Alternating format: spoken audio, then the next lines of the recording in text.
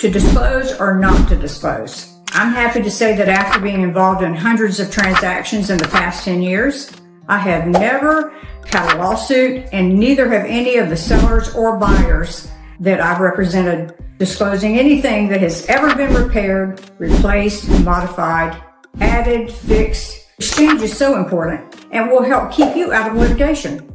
And it's essential to go over all the disclosures prior to putting your house in the MLS or prior to even a buyer seeing the home. We want them to have previously viewed the disclosures prior to making an offer. This will help ensure that the buyer doesn't back out of the deal later.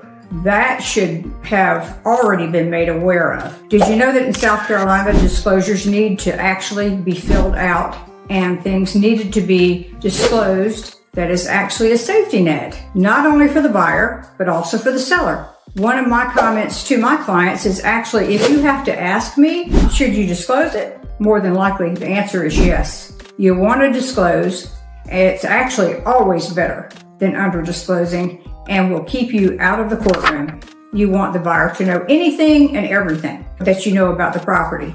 When you disclose properly, you won't have to worry about coming into court and having someone come back after you later. Obviously, if you only disclose what you know and there are issues with the property that you don't know about it, then the buyer would actually have to prove that you did know about it beforehand. And if you intentionally kept it from them, so disclosures are important. And if you're thinking about selling, give us a call. We'd love to help you. We've helped hundreds of people just like you in this area and we'd love to help you.